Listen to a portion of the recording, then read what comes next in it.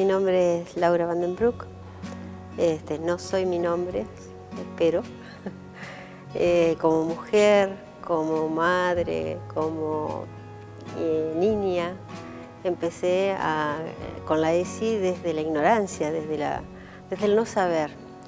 Y como me recibí muy jovencita, a los 21 años, me di cuenta y me tenía que dar reproducción.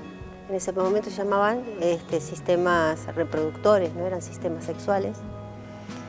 Y me encontré que tenía que dar a un grupo de alumnos de casi mi misma edad, tres años menos, y dar ese sistema sexual. Entonces yo, mi, mi herramienta para poder eh, establecer la diferencia era mm, el saber, tenía que saber, tenía que conocer y resulta que no sabía nada.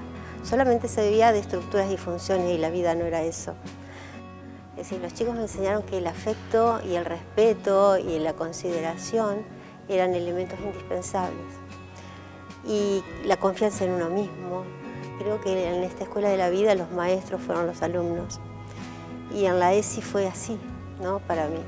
Entonces me desafió a saber a tener empatía, a aprender a manejarme con el cuerpo, que el cuerpo entre en el, aula,